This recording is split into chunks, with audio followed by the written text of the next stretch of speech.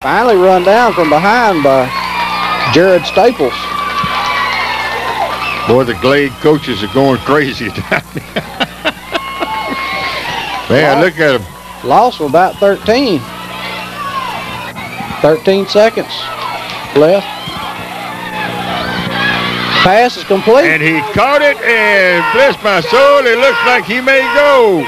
He does. Touchdown. Dash Cessna in for the score with two seconds Holy left on the clock.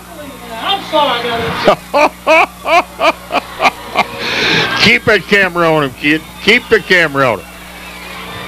Good gracious alive. Derek McKee to Dash Cessna. That Cessna, he took the ball away from the defender and set sail for the end zone.